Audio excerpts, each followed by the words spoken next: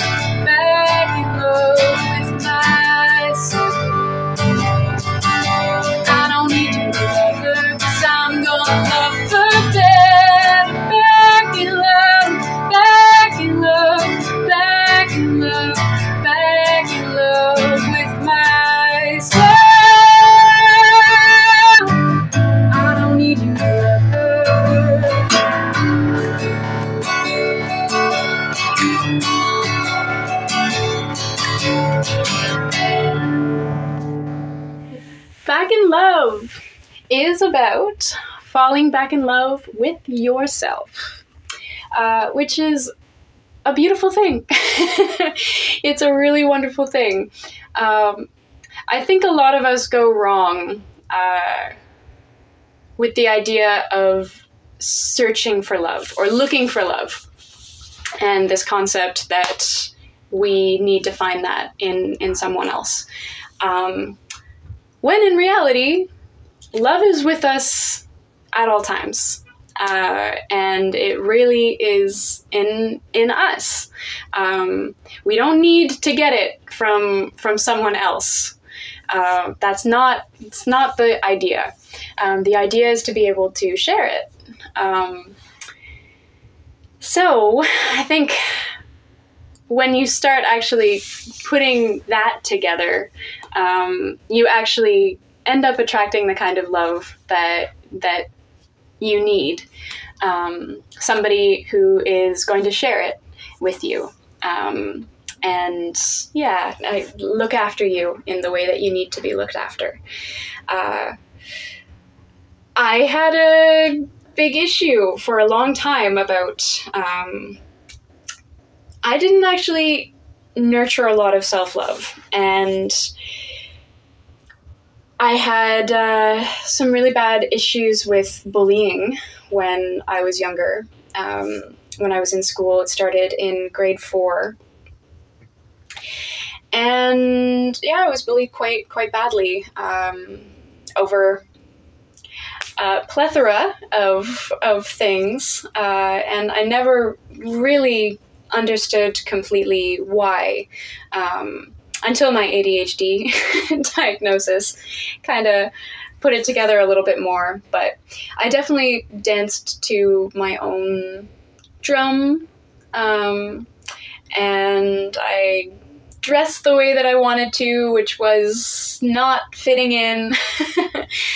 and yeah, I was loud and I was you know, a little different, and I was scatterbrained, and I was an oversharer, and all of these things. Um, and yeah, I got teased pretty pretty heavily uh, for it, and you know, as that went on, I started feeling pretty awful about myself, and um, yeah, I used to write uh, like hate speech about myself um, in my notebooks and and on my arms, um, and yeah, I felt uh, very very negatively um, about myself. Um, and yeah, I had teachers in school that also believed me for for my learning uh, difficulties um,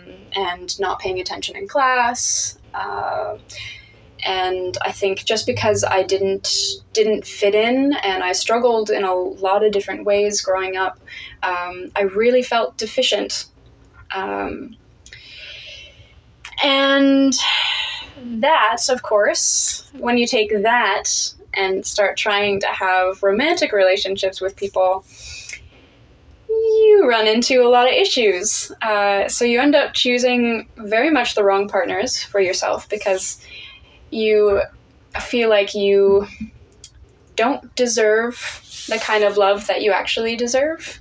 Um, so you get attracted to more so people that are distant um, and often abusive, uh, which was definitely my experience. Um, and progressively, I kept getting better. so I started off really bad. I was in a very, very bad abusive relationship with a lot of mental health issues where I used to have to um, when the person's episodes would come on, um, I'd have to run to the washroom and lock myself in the washroom as they slammed on the door. Um, and they never physically hit me, um, but they would take me and they would hold me extremely tight and they would shake me and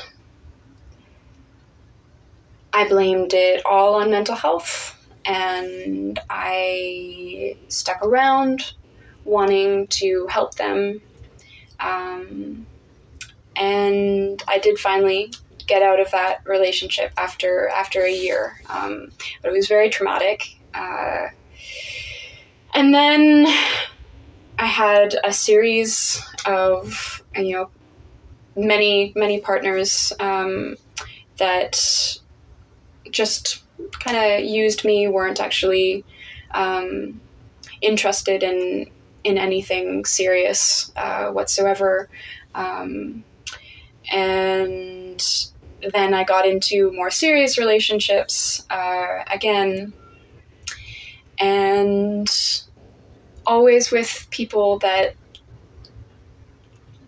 couldn't give me the kind of love that I needed. Um, that couldn't give me the the affection. I'm, I'm very much a physical touch person, and uh, yeah, I need I need a lot of a lot of physical affection, and uh, I chose partners that um, couldn't couldn't be there uh, in in that way for me, um, at least not on the long term. Um, and I I need a lot of communication, and that is another area where um, my a lot of my well all of my partnerships um, yeah as, aside from you know the the last two two partners that um, I've been with uh, yeah that weren't weren't able to um, communicate their their feelings very very well. Um, and weren't able to express uh, their feelings in regards to me um, very well. Uh, which, of course, creates a lot of um, insecurity if you naturally uh, don't have a lot of love for yourself and you're always searching for for someone else to make you feel good about yourself um, you're going to be let down always always, always, always. And you're going to end up staying in relationships where your needs aren't getting met for a long time. Um, because you don't want to be alone. Um, and the best thing that I've found, certainly now, is you have to face that alone time. And being by yourself, spending that that time getting to know who you are and appreciating all of the little elements of yourself um, and starting to celebrate them is so so important. And to be able to get into a relationship with somebody um, who also feels feels great about themselves too. Um, that's where the beauty that's where the beauty happens uh, because hurt people hurt people and that's what what it comes down to um, so if you can start trying to heal some of those wounds um, you're going to stop hurting others uh, and that's really the goal right? We don't want to hurt people. Um, so had a lot of big big realizations after getting out of this this past relationship and spending a while um, you know dating a couple different people and seeing seeing it what works after I'd spent the time with myself to really reflect and uh, nurture everything that's that's important to me. Um, so when you get into a longer relationship, you know that you are you know what you deserve, and you can fight for your love rights, and uh, yeah, not not give up the things that are really important to you. Um, know your boundaries, and uh, stick to them ferociously. uh, thank you so much for joining me for episode seven of Beautiful Breakdowns. I can't believe it's already episode seven. And tune in next week for episode eight.